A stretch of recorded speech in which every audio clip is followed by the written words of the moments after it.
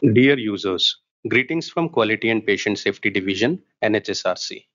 This video will guide the district quality consultants on how to use the SaQsham portal for national level quality assessments. Once you register and log in to your profile, you will land up on this home page.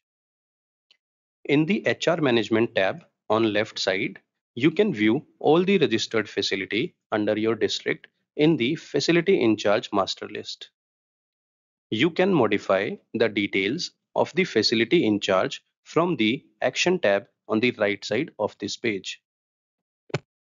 In the next section of Provisional User List, you can approve or reject the registration request of a health facility under your district's jurisdiction. Also, you may view approved or rejected or all the requests from this drop-down menu as well. In the services section, you will get the information about the facilities under your district which have applied for the national level quality assessments. You may receive the request and proceed ahead to review the application. Here, you can view the program and departments applied for the assessment. Click on Save and Proceed button. On this page, you can view the various reports uploaded by the facility. In case the district assessment report is not uploaded or not correct, you may edit or add more reports on this page. After that, click on Save and Proceed button. Here, you can view the bed details and other service details of the facility. Click on Save and Proceed button. On this page, you can view the application form and other documents uploaded by the facility by clicking on the file name. You may give your remarks against the every document. After reviewing all the documents, give the final remarks and then click on Save and Proceed button.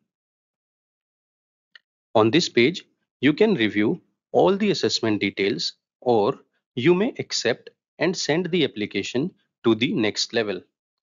Also, you may revert the application to the facility in case any document is found to be unsatisfactory. To view the details of the assessors for already scheduled assessments, go to the Others tab from this drop-down list. And then click on View Intimation Letter.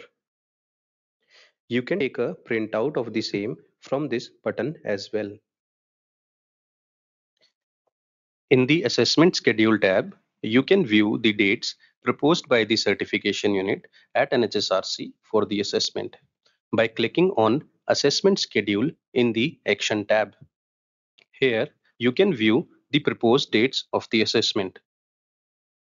If you want to accept the dates on behalf of the facility, click on I agree button or click on reschedule option if you want to change the dates of the assessment.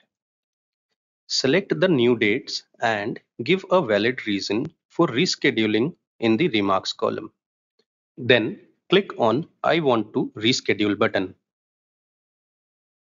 In the Facility Assessment Result View tab, you can view the results of the facilities declared by the certification unit at NHSRC. You can view or download the letter and certificate given by Ministry of Health and Family Welfare. Thank you.